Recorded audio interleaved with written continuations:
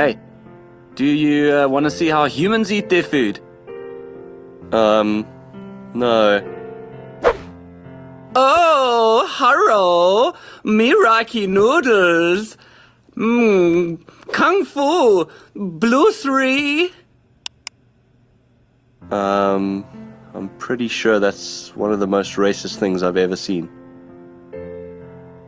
Oh, oh, oh, I could use some frog's legs to go on this baguette. Oh.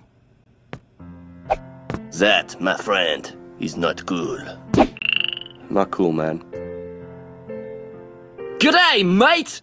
This roast dingo on a stick is bloody ripper! Dude, that's, that's pretty offensive. My cousin's Australian. And he's also a dingo.